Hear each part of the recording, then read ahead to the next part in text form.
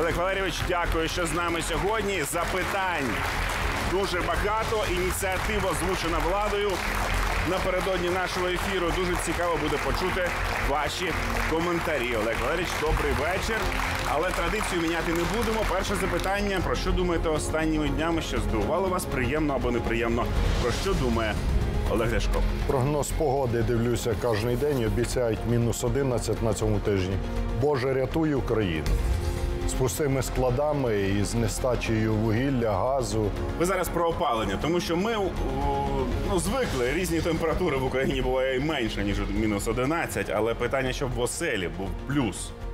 Правда ж? Да. А на вулиці ми не- з і не тільки, щоб в оселі був плюс, а і щоб в оселі був чесний телевізор. А чесний телевізор це Україна 24 з ляшком. Самий чесний телевізор. Дякую, Олег Валерійович. Тож, то одразу давайте. Одразу до новин. Щепився, отримай гроші. Володимир Зеленський пообіцяв тисячу гривень кожному, хто вакцинується від коронавірусу. Зробити потрібно дві дози. Програма стартує вже цього року, з 19 грудня. Сумарно на неї виділять близько 6 мільярдів гривень. Три цьогоріч і ще три на початку 2022-го. Отримати кошти від держави можна буде як за допомогою застосунку дія, так і альтернативним способом. Фрагмент виступу президента, який з'явився нещодавно. Зараз почуємо. Кожен, хто отримав два щеплення, зможе отримати одну тисячу гривень швидко і зручно, тобто через додаток Дія. За ці кошти можна буде придбати абонемент у спортзал або фітнес-клуб, відвідати кінотеатр, театр, музей, концертний зал чи виставочний центр, або купити квитки для мандрівок всередині країни.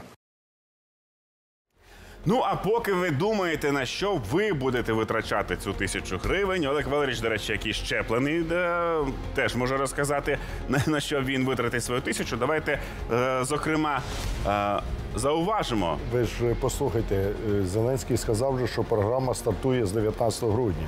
Тобто всі, хто щеплені до 19 грудня, не підпадають, тисяча не впаде.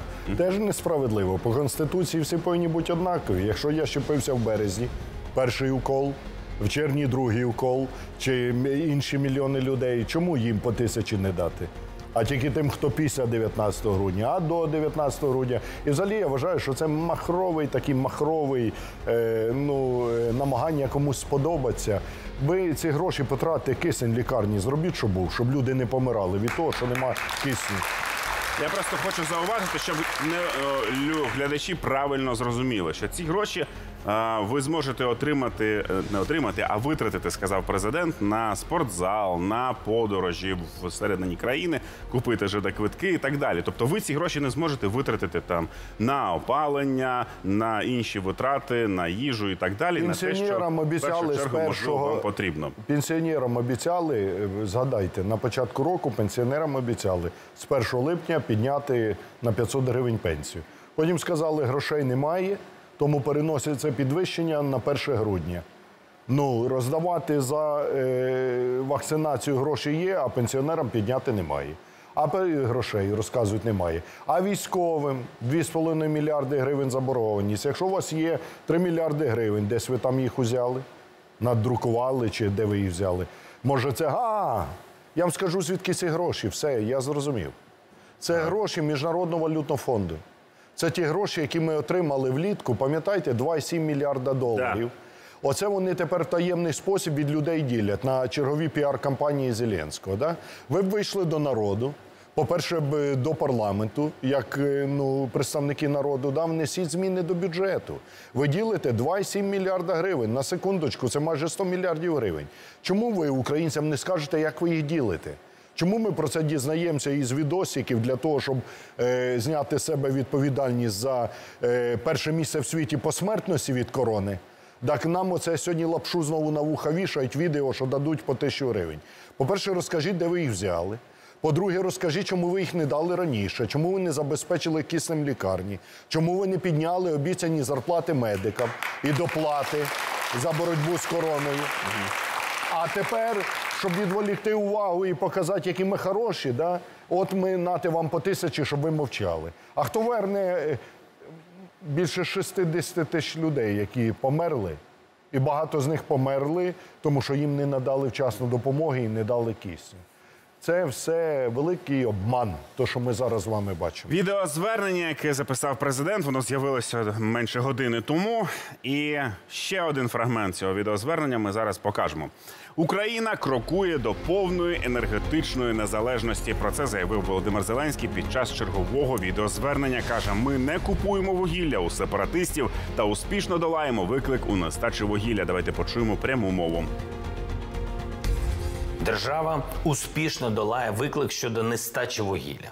Нестачі не буде. Крім нашого українського вугілля, буде сім кораблів Панамакс, які вже прямують і прибудуть до українських портів найближчим часом. Вугілля, яке ми доставляємо морем, повністю закриває потреби енергетичної сфери до кінця цього року. У разі необхідності такі ж наші дії закриють потребу до кінця усього опалювального сезону.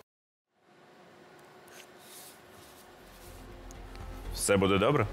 Е, Якщо, по-перше, дай Бог, щоб все було добре. По-друге, е, якщо буде все добре, то не завдяки владі, державі, президенту і уряду, а навпаки, всупереч. Тому що якраз і президент, і парламентська більшість е, слуг народу, і їхній уряд Шмигаля зробили все, щоб в Україні було все дуже погано. Щоб Україна була в найгіршому стані за 30 років незалежності, в стані енергетики. І фактично, коли Зеленський каже, держава крокує до повної енергонезалежності, ви знаєте, там на тій банку як пороблено в президентському кабінеті. Вони там чи чуманіють, чи втрачають відчуття адекватності. Да просто вийди і послухай експертів. Не тих, хто до тебе приходить і приносить хороші новини, а послухай просто людей, які в цьому розбираються, експертів, людей, які незалежні, люди, які чесні, які дбають про державу. І вони скажуть пану Зеленському, що держава в найгіршій ситуації за 30 років, що держава не просто не крокує до повної енергонезалежності, а що політика Зеленського і його парламентської більшості і урядової більшості привела до повної капітуляції держава Україна перед Росією в плані енергонезалежності. І ви слухайте, ви почули, да? держава, я записав швиденько. Держава успішно долає виклик щодо нестачі вугілля. До України держава постачає сім панамаксів. Забули тільки сказати. Я скажу, а хто везе ті панамакси? Яке відношення до них має держава? Я коли побачив це звернення, я зразу з'ясував. У нас же руки довгі, люди є скрізь. З'ясував, хто везе панамакси, за чиї гроші куплено вугілля. Президент мав би взагалі про це сказати. Чесний президент мав би сказати, шановні українці, Моя політика як президента, мого уряду, моєї парламентської більшості привела до того, що Україна не може прожити без імпортного вугілля. Привела до того, що ми стоїмо на порозі взагалі енергетичної катастрофи, що у нас пусті склади, немає газу і немає взагалі можливості себе забезпечити.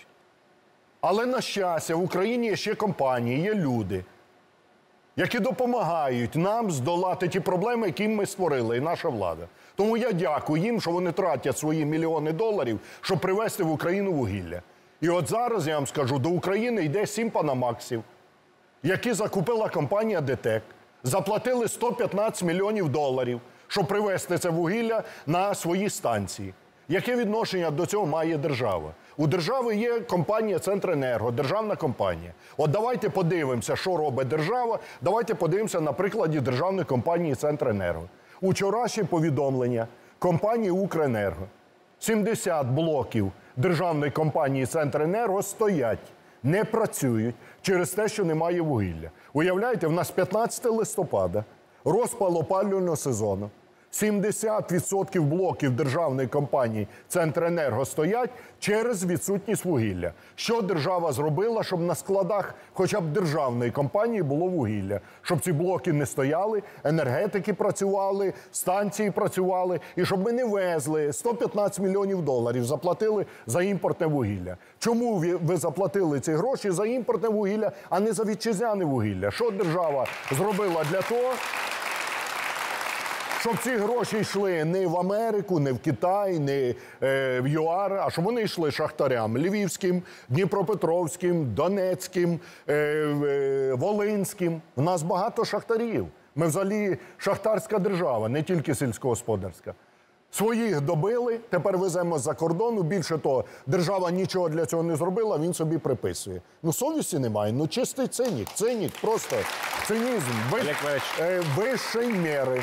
А президенту просто не повідомили, що це не державне замовлення і не держава везе ці сім панамаксів, ці сім кораблів. Василь, ну хорошо, ну я президент, ви міністр енергетики. Ви приходите до мене, кажете, іде сім панамаксів.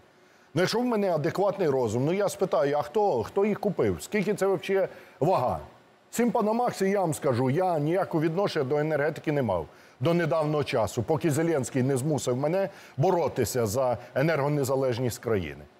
Так от сім панамаксів це орієнтовно одне судно 65-70 тисяч тонн вугілля. Сім панамаксів це десь півмільйонів тонн вугілля.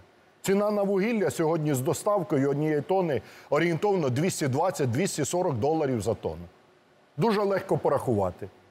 Більше 100 мільйонів доларів ці сім кораблів. Держава ні одного цента не заплатила для того, щоб цей корабель прийшов, для того, щоб купити вугілля. Держава зробила все, щоб збанкрутувати. Не держава.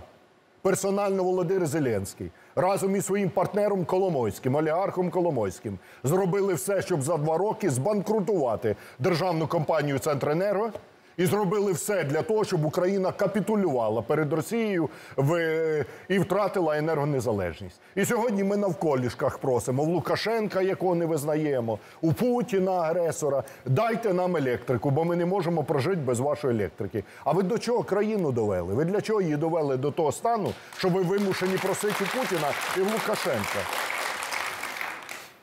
Олег Валерійович, е, напевно, треба звернути увагу на роботу спічрайтерів президента або радників президента. Ні, ні, тут тому питання, що друже. тут не можна залишати без уваги. Друже, ну це питання не спічрайтерів. Воно ж, як кажуть, е, е, король підбирає свиту під себе. Я розумію, що ви дуже дипломатично обходите це питання. Я вам скажу. Сьогодні нашою країною, і це визнають українці, подивіться всі опитування. Сьогодні нашою країною керують просто е, професійні, професійні махрові дилетанти. Тому що коли президент виступає і навіть не розуміє, про що він говорить, навіть не розуміє предмету розмови, навіть не розуміє, на біле каже чорне, Україна крокує величезними кроками е, до повної енергонезалежності. Да вам любий фахівець каже, що жопа, вибачте мене в енергетиці, жопа в країні. А вони розказують, що ми йдемо до повної енергонезалежності. Ко, кого, кого ви за дураків тримаєте? Ви е, цю націю, яка бореться з агресією, яка бореться, е, виживає всупереч цій владі, ви, ви ще людей за дураків тримаєте. Ви на біле кажете чорне, ви їх обманюєте, ви, тому що вони некомпетентні.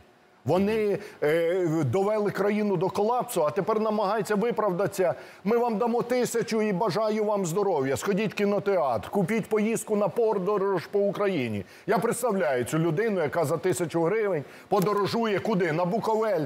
Чашка чаю там дорожче стоїть, ніж ваша подачка. І ви про подорожі розказуєте. Про це пишуть нам глядачі Ніна, 81 рік. Мій син, точніше, телефонують до кол-центру. Мій син інвалід. Зробили вакцинацію через два тижні ревакцинацію. Всіх агітували. Але обідно, що ми не підпадаємо під цю тисячу. Мені не потрібно ані кіно, ані спортзали. Я хочу їсти і заплатити комуналку. Тарас Миколаїв, 72 роки. Так? Коли вже будуть позачергові президентські та парламентські вибори, ми вже втомилися чекати на покращення. Ангеліна Суми 41 рік. Ангеліна, я думаю, що це буде в наступному році. Е, Ситуація в країні доведена до е, абсолютної кризи, не тільки в енергетиці. Подивіться ціни на сільгоспродукцію. Це ж катастрофа. Ти зайдеш в магазин, олія в п'ять разів дорожче, ніж була минулого року- Гречка, цукор, хліб. А в людей що, в п'ять разів зарплати піднялись? Ні. А хто довів до цього? Чому ростуть так ціни? Ви своїм партнерам по олігархічній коаліції в парламенті Вірєвському податки знижуєте. Він вивозить за кордон е, зерно необроблене, торгує олією, заробляють, наживаються, мільярди кладуть у кишені. Подивіться ситуацію в парламенті. Сьогодні немає монобільшості. Там нова коаліція за участю Зеленського і його партнерів олігархів Коломойського і Віревського.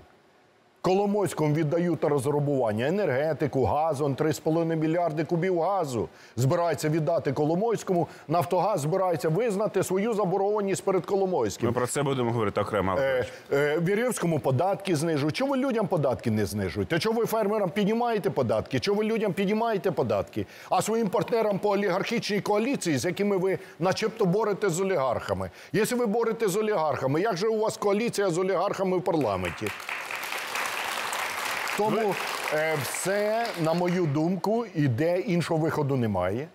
Це дострокові парламентські, і я думаю, що і президентські вибори. Тому що некомпетентність зашкалює, капітуляція зашкалює, наступ на свободу слова ну просто не прикритий. Збідніння людей, обезцінення доходів, е, зростання безробіття, е, провал економіки ну просто зашкалює.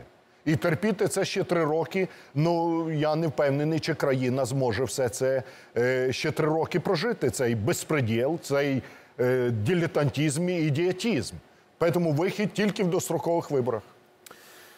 Заговорили ви, Олег Валерійович, про ціни. Я тоді продовжу. Я хотів трохи пізніше цю тему підняти, але вже тему ми розпочали. В Україні подорожчало молоко. За останні 5 місяців ціна зросла на 16%, Тож вартість української сировини вже більша за середній показник країн Євросоюзу. Про це свідчать дані інституту аграрної економіки. Зокрема, у сусідній Польщі та Латвії ціна за 100 кг продукту не перевищує 9 сотень гривень, тоді як в Україні за такий об'єм просять понад 1200 гривень. Такий стрибок цін експерти пояснюють відсутністю підтримки з боку держави молочній галузі, низькою купівельною спроможністю, а також наявністю дешевого імпорту. Втім, подорожчала не лише молочка. У порівнянні з минулим роком ціни злетіли на олію та цукор на 57 і на 48% відповідно. На 32% додали у вартості яйця, а хліб на 18%. Дорожче життя Олег Валерійович. Що робити людям, які і до цього виживали на копійчаній пенсії, а зараз ну просто не знають, чи купувати ліки, чи купувати їжу. В Україну перетворили на свалку імпорта. Сьогодні заїдьте в любе село, ви там, якщо корову знайдете, ну ви будете везунчик. Раніше, пам'ятаєте, їдете через села, да? Надо за стадом корів півгодини, е, щоб вона тебе рогом об машину не довбанула, треба ззаді за нею їхати. І оця корова, хазяйка села, іде так повільно, може ще накласти серед вулиці стати. І ти, як водій, вимушений все це терпіти. Це до грошей. Безумовно. І до грошей, і до успішної країни. Коли стада корів ходили раніше. А сьогодні їх немає. Чому їх немає? По-перше, відсутність будь-якої державної підтримки. Всі оті розмови про те, що надають фермерам підтримку, все це туфта. Вони абсолютно нікому нічого не надають. Я не знаю ні одного реального фермера, який отримує підтримку. Олігархи, да, їхні партнери підтримку отримують. А реальні фермери нічого не отримують. І тому сьогодні завозять то з Білорусі, то з Польщі.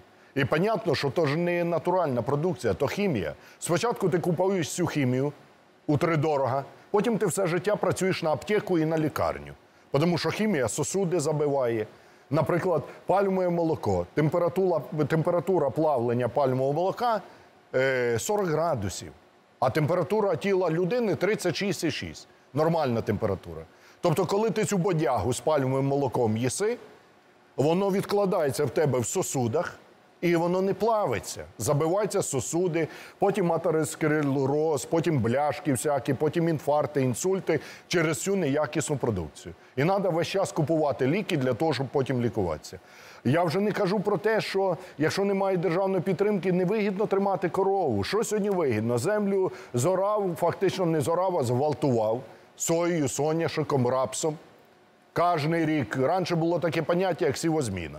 Що таке сівозміна? Ти не можеш на одному участку поля сіяти одну й ту саму е, продукцію е, рік чи два навіть підряд. Ти можеш посіяти тільки один рік.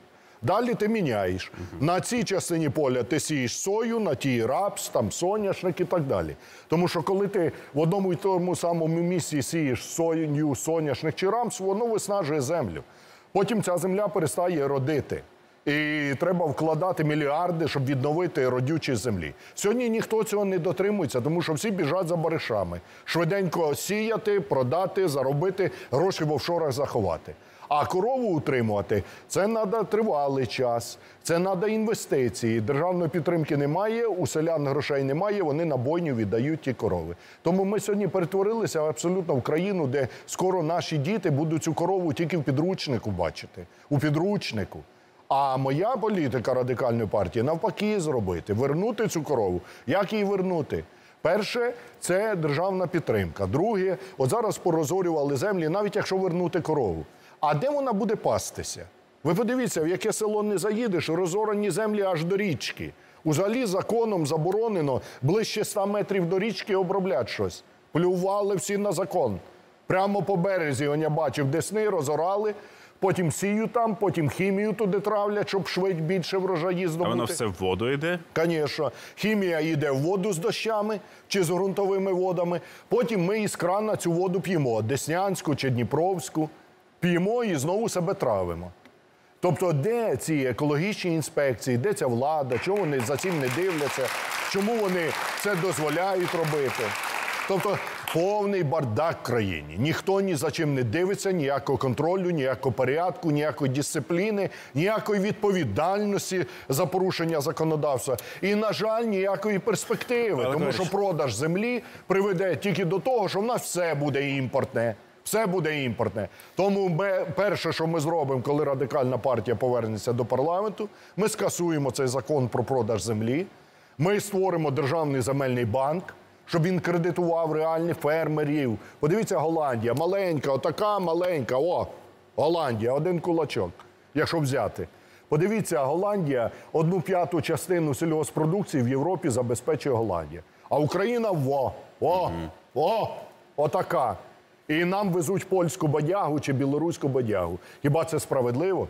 Ні, так у несправедливо. Голландії намиті. У Голландії намиті болота. Я ходив там. Вони знаєте, що ходили у цих дерев'яних башмаках? Тому що вони в болоті весь час ходили. Там же вони нижче рівня моря. А в Україні унікальні на весь світ чорноземи. І вони живуть як у Бога за пазухою, а ми ходимо, бомжуємо і нам розказують, землю продайте, і вам ще краще буде. Нічого краще не буде. Без землі останемося, без майбутнього останемося. Тому міняти це треба все. Запитання. Захищати свою землю, своїх людей. Запитання від киян та гостей столиці. Увага на екран. Чому українці такі розумні і такі бідні? Ну. Коротке запитання. да, ну таки коротка відповідь. Тому що бідні, тому що такі розумні. Що робити, щоб ми е, були розумніші і жили Як сказав е, наш е, класик, думайте. Думайте, коли голосуєте. Коли йдете, голосуєте. Вони ж ці космонавти, які сьогодні керують країною. От дивіться, соціологію гляньте. 90% людей, яких питають, кажуть, вони стали жити при владі Зеленського гірше. Коли людей спитали, а чого ви стали жити гірше? Що вони відповідають? 44% кажуть, вони стали жити гірше, тому що махрова корупція в державі. І вони праві. 33% кажуть, ми стали жити гірше, тому що країною керують некомпетентна влада. Тобто загалом 44 плюс 33 – це 77, ну майже 80% українців сказали, що вони стали жити гірше, тому що некомпетентні, корумповані ідіоти керують країною. А мене тепер питання до цих людей. От якщо ви визнаєте, що некомпетентні, корумповані ідіоти керують цією країною, в мене до вас питання: а звідки вони взялись, ці некомпетентні, корумповані ідіоти? Вони з космоса на кораблі Ілона Маска прилетіли космічними туристами. Звідки вони взялися? Ребята, вони взялися, тому що два з половиною роки назад ви пішли на виборчі дільниці в угарі, я скажу так, в обмані, під обманом. І ви поставили галочку. Ось, ось ваша зброя. Ось в оцій вашій руці ваше майбутнє, ваше життя, ваші ціни, ваші стандарти життя, майбутнє ваших дітей, ваших мам, батьків, онуків і так далі. і так далі. А ви думаєте, що це для жартів, по приколу, прийшов, поставив галочку навколо якогось зеленого е, некомпетентного бомжа, якого витягли з каналізації за е, запорізького фотографа чи тамадай якийсь, чи ще за когось. При всій повазі до фотографів. Але фотографуй, роби хороші фотографії. Які закони ти можеш написати? Що ти можеш зробити для цієї країни? Олег Якщо в тебе ні досвіду, ні, ні нічого немає. Тем багато запитань Тому ще у мене більше. відповідь до того, хто питав, і до всіх. Хочете жити краще, хочете жити достойно в рідній країні. Думайте головою, за кого голосуєте. Хто вам проводить ту політику? Ще одне повідомлення від глядача. Я ветеран війни на сході України з 14-го року. Сім років не можу вилучити з себе уламки в моєму місті. Атовці лікуються за свої кошти. Навіщо мені театр та чи подорож? Жити хочу. Артем, 38 років, конотоп. Да, Артем, абсолютно правильно. Тому давайте у нас в Конотопі є там партійна організація, я їм дам доручення. Зверніться до наших хлопців і допоможемо все, щоб е, провести ці необхідні е, медичну допомогу за державний рахунок. Є ціле міністерство ветеранів. Чому людина, яка захищала країну на фронті, тепер повинна за свої гроші витягувати осколки? Це точно завдання і моральний обов'язок держави. Витягнути ці осколки, зробити все, щоб ветеран жив достойно. Крокуємо далі. Ще одна тема. Новою очільницею партії Слуга народу стала жінка. Тепер керуватиме політсилою Олена Шуляк. Рішення ухвалили на з'їзді Слуги народу. Нині Шуляк є заступницею голови фракції, відповідає за місцеву та регіональну політику та бере участь у координації великого будівництва. Новообрана керівниця партії вже анонсувала зміни. За її словами, на з'їзді вирішили оновити політраду партії, її програму та статут, а також створити дисциплінарну комісію. Шуляк зазначила, президентська політична сила має більше спілкуватися з людьми та працювати як соціальна ліва. Також партія закликала фракцію в раді якнайшвидше проголосувати низку важливих законопроєктів. Коротко почуємо. Зокрема, це запровадження жорсткого покарання за розкрадання в збройних силах України в міністерстві оборони. Це запровадження пенсійної реформи, так званого другого рівня пенсій. Також е, на розроблення я винесла законопроект, який стосується підвищення оплати е, праці всіх працівників освітньої сфери. Будемо тісно співпрацювати з усіма регіонами. Оновимо обов'язково програму, зробимо аудит, що ми виконали, що не виконали. І мені здається, що у нашої команди обов'язково це вийде. Зміна в Кабміні, зміни в, оч, в очільниця нова партії. Е, До чого це? Що це змінить для держави? Чи зміниться щось всередині монобільшості? Для держави нічого не зміниться. Ця партія е, влади вже йде на кладбище політичне.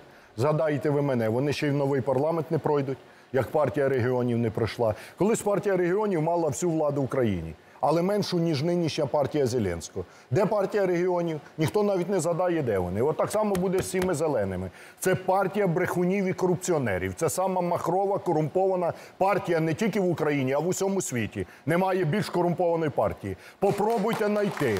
Попробуйте. Попробуйте знайти хоч один парламент в світі, де депутати від партії влади, 200 депутатів, отримують зарплати в конвертах. По 20, по 30, по 50 тисяч доларів. Вона розказує про якісь реформи. Ви почніть реформу із себе. Ви припиніть брати зарплати в конвертах, взятки.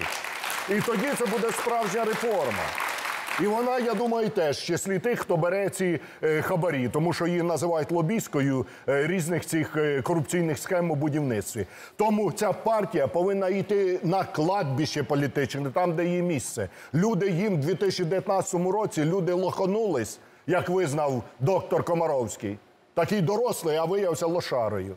От з мене приклад бери, я ж не лоханувся, а голосував би за радикальну партію, точно б не лоханувся. Так, Олег а Валерійович. сьогодні ходить по ефірах, розказує, я лох. Так, Олег Валерійович, Секунду, хто не ображайте а хто її ображає? поважного доктора. Секунду, даю Я його люблю. Дивіться, ну моя Щиро мама, і відверто. моя мама теж його любить і прикладає його ці ефіри, ваші ефіри, як примочку собі прикладає. Коли Шумака так е, дистанційно лікував, тепер ваші ефіри з Комаровським лікують. Але дивіться, я його не вражаю, він сам це сказав. Він сказав, що я лох, що нас розвели. Так якщо Комаровського розвели, подивіться на нього, його попробуй розвести. Що вже тоді говорити за людей? Тобто вони в 2019 році обманули людей. А тепер вони через три роки влади розказують: ми що то ще зробимо, що ви зробите? У вас абсолютна влада в країні. Суди ваші, прокуратури, ваші мінти, ваші, більшість парламентів, ваша уряд, ваш президент, ваш, чорт лисий ваш, всі ваші, корупціонери ваші, олігархи ваші.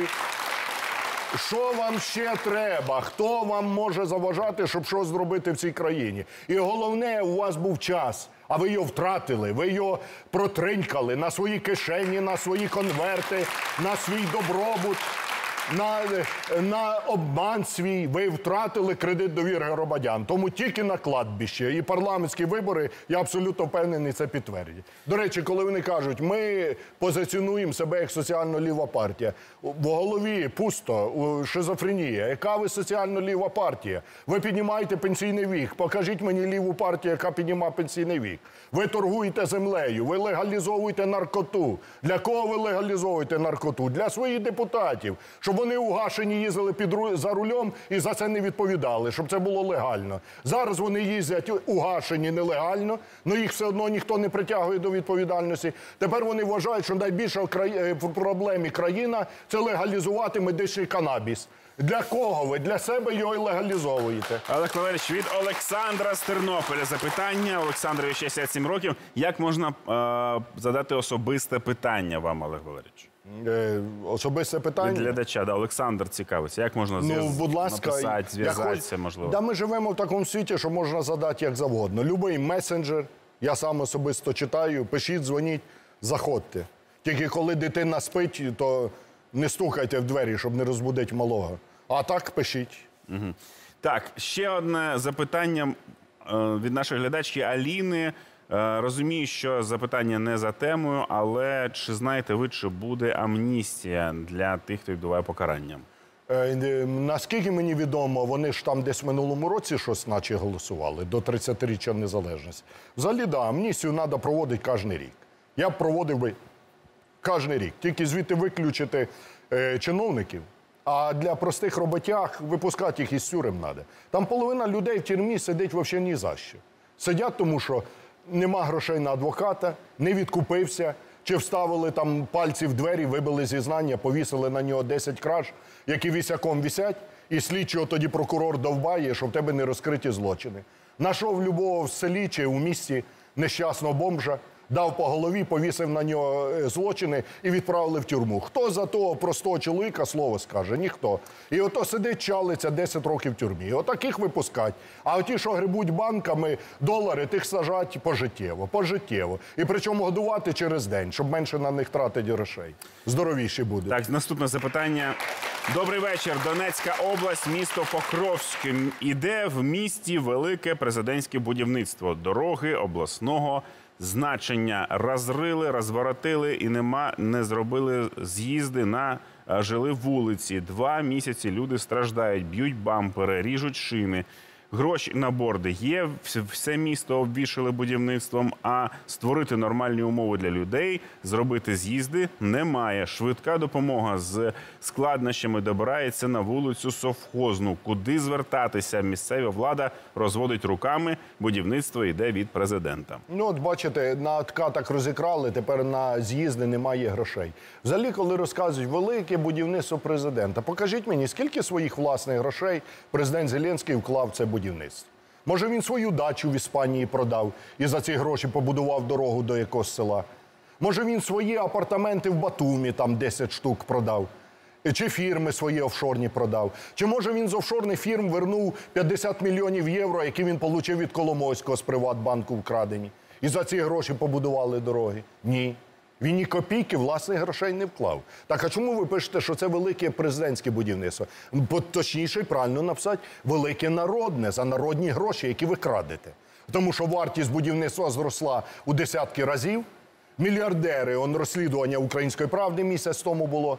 Оточення президента, оточення його партнера Коломойського мільярдерами стали на цьому так званому великому будівництві. А з коронавірусного фонду гроші вкрали, перевели в дорожній фонд для того, щоб звідти легше откати получати. І лікарні по всій країні без кисню. Зате вони собі кишені мільярдами на, набивають. Обіцяють тисячу за вакцинацію, пише глядачка. А на руки бідним людям на хліб і молоко гроші неможливо використати. Що це за обман? Скільки можна дурити людей? Е, так, ну тут каже пенсіонерка, що піде за вас голосувати, поки що нема виборів. Дай їй Бог здоров'я. Пане Голованов, чому не читаєте мої повідомлення? Що з вами? Та все ж нормально, ось читаю. Е, Пенсіонерка Київ. Дякую, дякую, дякую за підтримку. Дуже щиро. Ще одне запитання від е, киян та гостей столиці. Увага на екран. Как моя мама, которая живет на пенсию в 2200, может на нее прожить без моей помощи?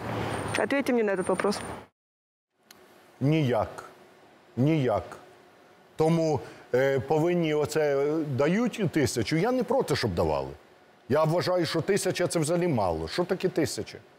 Зайди один раз в магазин і вийдеш без трусів, і без тисячі, і без трусів. На базар чи в магазин. Це ж вони тільки знають місця, де по 20 гривень говядину продають.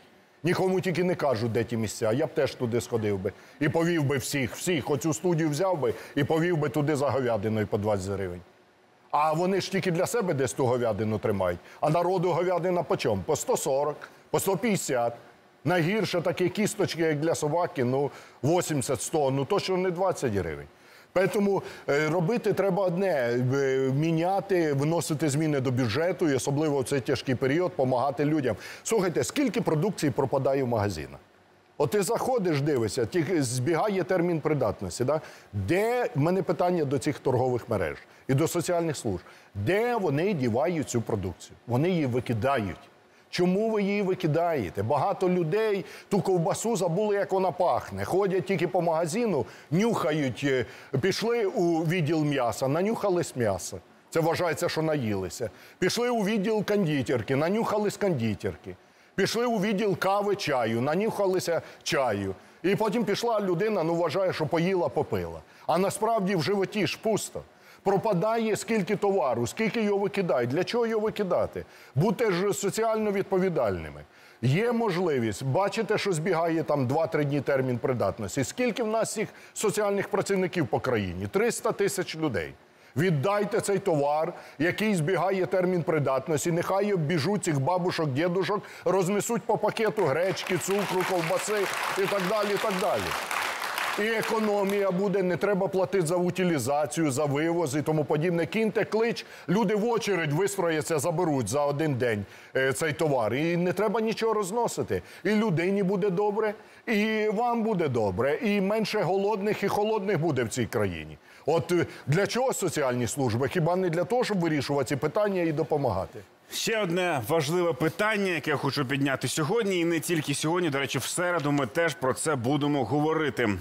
Хто наказав перенести операцію із затримання вагнерівців? Досі невідомо. Тимчасова слідча комісія оприлюднила новий звіт. Наявні дані дають змогу зробити опосередковані висновки, що відбулося від термінування активного заходу з 25 липня на 30 липня 2020 року. ТСК не вдалося достеменно встановити, хто на якому рівні в Україні ухвалив рішення про відтермінування, сказала голова ТСК Мар'яна Безугла. Водночас, за словами голови комісії, ТСК встановила відсутність будь-якої документально оформленої вказівки про відтермінування з боку будь-якої посадової особи. За словами Безуглої, в Росії та Білорусі могли знати про підготовку затримання групи Вагнера. Зокрема, один із 33 найманців розповів про вербування ФСБ та збройним силам. Нардепка зазначила, що одного із затриманих у Білорусі найманців так і не депортували до Росії. Натомість українські правоохоронці зробили все можливе для екстрадиції бойовиків. А резонанс навколо справи справа рух Росії. Почуємо безуглу. ТСК констатує, що з моменту затримання групи найманців спецслужби Російської Федерації розпочали спеціальну операцію з дезінформації проти України з метою представити роботу українських спецслужб, органів державної влади в негативному світлі, нівелювати їх результати, висвітлити як невдалі, викликати внутрішню дестабілізацію та спровокувати недовіру до інституцій держави. Спецоперація по захопленню вагнерівців була. Вона не просто планувалась, вона проводилась. Проводила її Україна, проводила її Українська воєнна розвідка, головне управління розвідки Міністерства оборони України. Це дуже важливий перший висновок тимчасової слідчої комісії, яка складена нагадую зі слуг народу.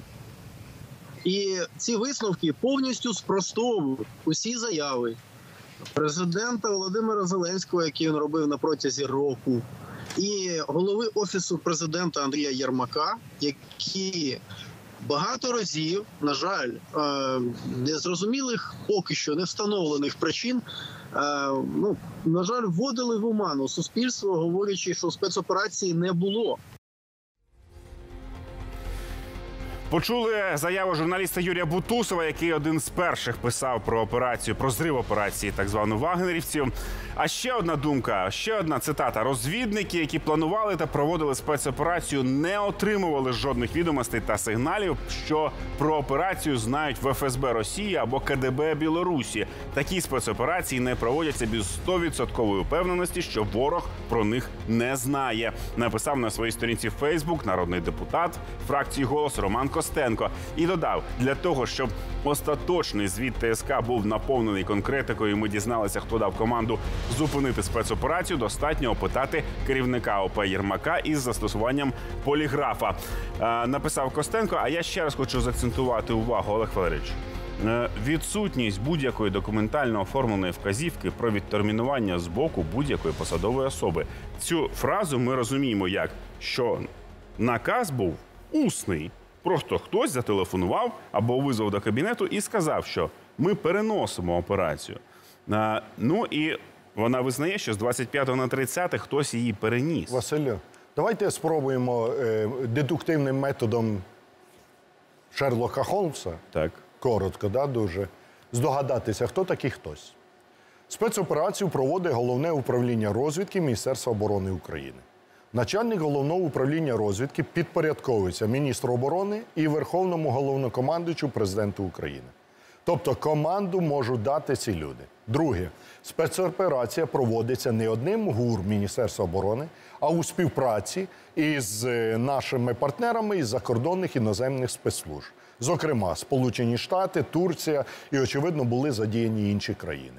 Крім того, в рамках проведення спецоперації було порушено кримінальне провадження Генеральною прокуратурою і взяті відповідні санкції на арешт і затримання цих е, 33 вагнерівців, які давали судові органи України. Справа також була порушена, тому що ГУР вело е, розвідувальну гру, а справа була порушена Службою безпеки України. Тобто така абсолютно масштабна операція, де задіяні закордонні спецслужби, вище керівництво країни, могла бути скасована виключно однією людиною в цій країні. І для цього не треба створювати тимчасову слідчу комісію. Це президент України Володимир Зеленський. Як він давав цей наказ, усно чи письмово, це вже коли буде змінена влада. Я впевнений, що всі ті, хто був у кабінеті і отримали цей наказ, будуть давати свідчення. Сьогодні вони фактично обманюють тимчасову слідчу комісію, розказуючи, що вони не знають. Але навіть ці слуги, які виходять, вони навіть самі не розуміють, що вони говорять. Вони видають інформацію, яка фактично спростовує все, про що влада говорила останній рік громадянам України. Президент України, керівник офісу президента, хто завгодно, всі розказували, що спецоперації вагнеровців не було. Звід тимчасової слідчої комісії операція була. Вони розказували про те, рік дурили громадян, що ніхто нічого не переносив, тому що спецоперації не було. Звід тимчасової слідчої комісії, що спецоперацію перенесли з 25 на 30 липня.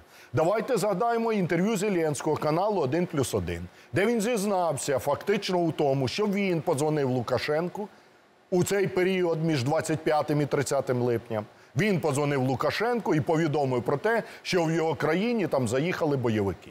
Після цього лавинообразно почалося затримання і так далі. і так далі. Тобто, якщо все це скласти, от вам мозаїка. Хто злив цю спецоперацію, хто вчинив факт державної зради, кажучи е, мовою Кримінального кодексу України. Чому сьогодні не притягують до відповідальності? Тому що покривають.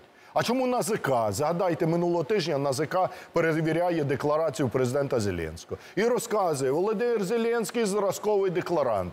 Ну це ж чиста брехня. Володимир Зеленський не зареєстрував офшорні компанії у своїй декларації. Про це написали 600 міжнародних журналістів. Що Володимир Зеленський має офшорні компанії і отримав на ці компанії 50 мільйонів євро від Коломойського. Податки не сплачені, гроші сховані в офшорах. В декларації її немає. Е, і вони кажуть, що він зразковий декларант. Суддю, який не задекларував вчасно в 10-терм- 10-денний термін, що він отримав зарплату, Його тягнуть до суду. Президента, який не задекларував офшорні компанії, десятки мільйонів доларів євро вкрадені з Приватбанку, не сплачені податки. Про нього кажуть, все хорошо, все прекрасно. Так а де? Для чого ви тоді створювалися? Якщо ви не бачите цієї махрової корупції, ви створюєте, е, ви функціонуєте виключно для того, щоб покривати цю корупцію. Значить, ви політично мотивовані і ви обманюєте українців. Ви за кошти платників податків прикриваєте корупцію на найвищому рівні. Тому справа Вагнергейт, так само як і справа про викрадення Чауса, от сьогодні НАБУ передало в суд справу Чауса. Закінчили розслідування по взятках. Я нагадаю, 4 квітня Чауса вкрали. Його не було 4 місяці, його тримали десь у підвалі, потім він появився. Молдавани, наші брати молдавани провели розслідування, встановили список 14 працівників військової розвідки Міністерства оборони України, які були причетні до викрадення Чауса. Скажіть мені, 14 військовослужбовців у Молдову поїхали за власним бажанням прогулятися? Їм немає чого робити? Вони поїхали, щоб викрасти Чауса? Хто їм дав команду? Люди під присягою, люди військові. Вони кроку без наказу не ступлять. Їм хто може дати команду? Знову з найвищого кабінету, з президентського кабінету. Тобто всі ці теми це буде підстава для не просто для тимчасової слідчої комісії, а для початку процедури імпічмента президента Зеленського. Це мав би зробити вже цей парламент.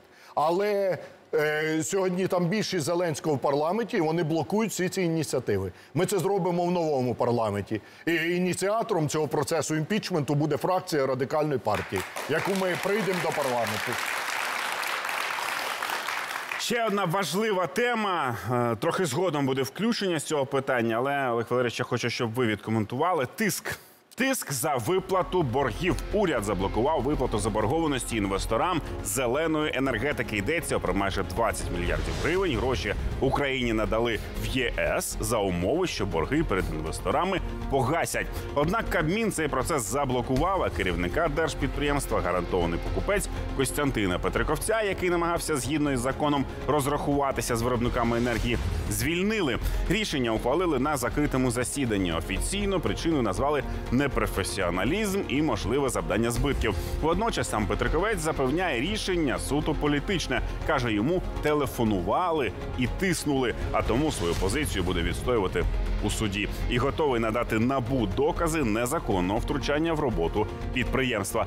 Костянтин Петриковець повідомив, що вказівки були неофіційними, а телефонували з Кабміну. яка була конкретна команда. Було прохання відтермінувати перерахування коштів, потім розглянути графіки їх спрямування, які, я так зрозумів, передбачали дискримінаційний підхід, який я не міг підтримати. І як громадянин, і як посадова особа я не згодився йти на порушення закону. Ну і наразі виробникам енергії виплатили лише 10 з 19,3 мільярда гривень. При цьому оплату здійснюють вибірково окремим компаніям. Джерела повідомляють, що виплати зупинили на рівні Ощадбанку рішенням прем'єр-міністра. А що це виходить, Олег Валерійович? У нас якесь вибіркове. Цим ми заплатимо, цим ми не заплатимо. Особисто е, керує цим прем'єр-міністр, блокує гроші на рахунках Ощадбанку, гроші, які мають бути отримані виробником зеленої електрики. Олег Валерійович, я зараз попрошу вибачення у вас. Я попрошу відкоментувати представника компанії ДТЕК, які недоотримують свої гроші, тому що в компанії ДТЕК вимагають розслідувати невиплату боргів і закликають притягнути до відповідальності керівництво Ощадбанку та гарантованого покупця. Прямо зараз з нами на зв'язку генеральний директор ДТЕК ВДЄ Маріс Куніцькіс. Доброго вечора. Маріс, добрий вечір. Дякую, що на зв'язку з нами. Добрый вечер. Э, На вашу да, думку, хто несе відповідальність за зрив розрахунків з інвесторами? Як ця ситуація позначиться на репутації України у світі? Ну, изначально я хочу сказать, что еще этим утром э, мы не были одни э, в этой компании, то есть тем, кому не заплатили долги. То есть мы все инвестора еще с утра давали пресс-конференцию и были обеспокоены тем, что э, гарантированный покупатель от- отправил деньги в Ощадбанк, а Ощадбанк не начал их перечислять э, нам, э, производителям зеленой электроэнергии. И в конце дня оказалось, что всем производителям зеленой электроэнергии, по нашей информации, деньги перечислены, кроме нас, ДТЭК, э, ВДЕ. И поэтому у нас э, появляется большой вопрос, э, почему деньги перечисляются выборочно, почему нас дискриминируют, и в чем вообще причина такого отношения к нашей компании. И на данный момент мы видим то, что гарантированный покупатель э, выполнил свои обязательства прошлом, прошлой недели. Они- перечислили деньги на Ощадбанк, но Ощадбанк по нам непонятным причинам э, эти деньги просто нам не перечислил. Дальше конкретно ДТЭК э, ВДЕ. Поэтому у нас есть публичная позиция, мы хотим разобраться в этом, вплоть до расследования, кто причастен и почему это делалось со стороны Ощадбанка и со стороны, возможно, нового руково- руко- руко- руководства гарантированного покупателя, который был сменен в э, эти выходные. Как вы знаете, в субботу отстранили предыдущего директора и сегодня назначили его нового. И нам пока что непонятно все эти действия, и мы хотим в, этим, в этом разобраться. Маріс, дякую вам за те, що долучились до нашого ефіру. Маріс Куніцькіс, генеральний директор ДТЕК ВДЄ, був з нами на зв'язку. Олег Ляшко в нашій студії. Олег Валерійович, а роз'ясніть, будь ласка, що за вибірковий підхід такий? Я думаю, що тут насправді все зрозуміло. Але перед тим як е, пояснити, я хочу українцям розказати, в чому взагалі історія і, і, і де скандал, де суть скандалу. Минулого тижня е, Укренерго, державна компанія, випустила облігації майже на 900 мільйонів гривень під державні гарантії, розмістила ці облігації. І ці кошти повинні були піти на виплату заборгованостям компаніям, які виробляють зелену енергетику. Ця заборгованість виникла в результаті дій цієї влади два роки, яка фактично перетворила Україну із чемпіона по розвитку безпечної зеленої енергетики в аутсайдера. Увесь світ іде до зеленої енергетики, а українська влада зробила все, щоб ми втратили провідні позиції у світі. У нас перше місце в світі по смертності від корони. Замість того, щоб бути перше місце в світі по розвитку, по зеленій енергетиці, по рівню життя громадян, по зарплатах і так далі. І так далі. І коли вони розмістили ці облігації Укренерго і почали перераховувати гроші, Кабмін заблокував раптом. Трина- е, В суботу терміново збирається Кабінет міністрів і звільняє керівника підприємства Петриковець Костянтин, який е, збирався виконувати закон і перераховувати гроші. Призначають виконувача обов'язків, блокують ці виплати. Виходить цей керівник підприємства і розказує, що його звільнили за те, що він виконував закон, а від нього вимагали протилежно. Йому дзвонили, телефонне право, і давали команди, кому платить, кому не платить. Чому не заплатили? Всім заплатили, крім ДТЕКу? Я думаю, відповідь очевидна. Тому що це намагання закрити рота незалежним журналістам.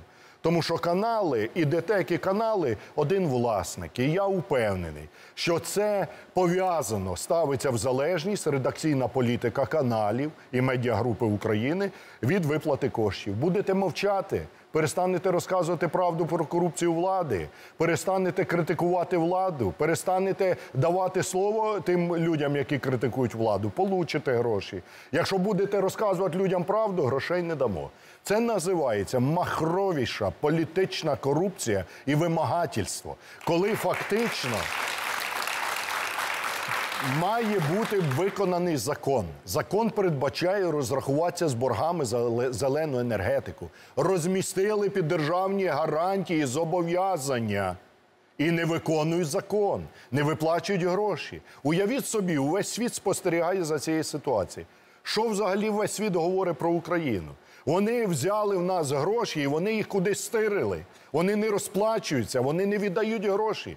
Більше того, вони ставлять умову.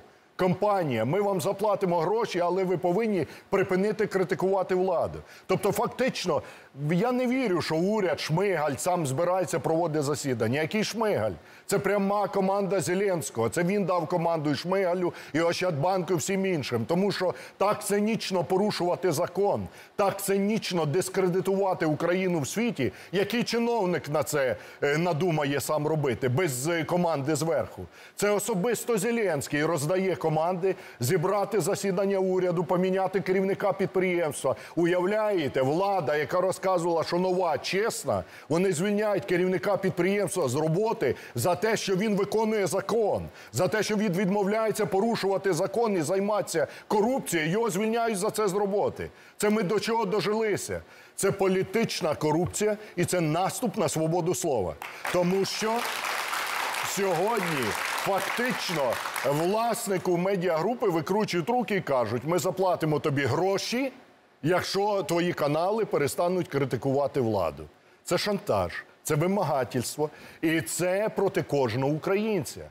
Кожен українець сьогодні повинен знати, що ми фактично заручники влади. Що влада займається політичною корупцією, влада займається шантажом власників ЗМІ. Це вони таку деолігархізацію проводять. Гроші тримають і в ручному режимі розподіляють. Отому дам, отому не дам. От тобі дам гроші, але ти повинен робити те, що вигідно Зеленському і владі. Тобі дам гроші, але ти повинен хвалити Зеленського і не розказувати людям правду про провали в економіці, в енергетиці, міжнародній політиці і в усьому іншому. Це чесна влада, це справедливість, на яку мріє кожен українець. Уявіть собі, вчителю, лікарю не платять зарплату, пенсіонеру не платять зарплату. Кажуть, ми тобі дамо зарплату, коли ти підеш проголосуєш за зелених, за Зеленського. Ми тобі дамо пенсію, коли ти проголосуєш за Зеленського. Ми тобі дамо кислород у лікарні, коли ти проголосуєш за Зеленського. А де це написано? В якій конституції, в якому законі написано? Що виконувати закон це тільки для тих, хто голосує чи підтримує Зеленського. Це політична корупція. От що відбувається зараз. Тому я вимагаю, я вимагаю від антикорупційних органів, від НАБУ негайно зареєструвати кримінальне провадження і по секунді, по секунді, по цепочці вияснить, хто віддавав команди, хто ініціював засідання уряду, коли поклали платіжки до Ощадбанку, хто заблокував оплату платіжок, чому оплатили одним і не заплатили одній компанії. Як це пов'язано із офісом президента і з командами президента? Це все має бути розслідувано, і це взагалі підстава для процедури імпічменту. Це ще один факт, який може бути використаний для початку процедури імпічменту: зловживання владою, політична корупція, вимагательство. Це всі ознаки злочину на ліцо. Олег Валерійович, буквально за хвилину, я глядачам теж проанонсую, за хвилину-півтори за цим столом буде двічі прем'єр-міністр України Арсеній Яценюк. А я зараз коротко, Олег Валерійович, ще встигну одне запитання. Важливо, тому що ви згадали Укрнафту, а ось минулого тижня був Рябошапка, екс-генпрокурор в нашій студії, в цій студії. Він згадав цікавий епізод. Виявляється, Нафтогаз минулого керівника тоді переміг Коломойського в стокгольському арбітражі. І в судовому рішенні було написано, що НАК має право не повертати цей газ 2006 року, і що контроль Коломойського за Укрнафтою був набутий в корупційний спосіб. Чому тоді українські суди приймають рішення, які протирічать Стокгольму, на який так часто посилаємось ми, і чи не підігрує сам Нафтогаз Коломойському? У 2015 році фракція радикальної партії при підтримці уряду Арсенія Яценюка ми прийняли в парламенті закон для того, щоб забрати у Коломойського контроль за державною компанією Укрнафта. Ні один президент не зміг цього зробити. Ми це зробили. І до 2019 року Коломойський втратив контроль. Фактично, він доїв цю державну компанію, він доїв кожного українця. Після того, коли в 2019 році президентом України став партнер Коломойського Зеленський, Коломойський повернув контроль за державною компанією Укрнафта. За ініціативою партії влади Укрнафті списали більше 30 мільярдів гривень боргів. Фактично подарували ці гроші Коломойському. В Стокгольмському арбітражі фірмам, офшорним компаніям Коломойського було відмовлено у позові. У позові проти України. До речі, цей позов від України відбивав і відстоював позиції України теж уряд Арсенія Яценюка. Так вони після того, коли Зеленський став президентом, вони пішли до районного суду офшорній компанії Зеленського. І тепер Нафтогаз збирається визнати свою заборгованість перед Коломойським по е, газу.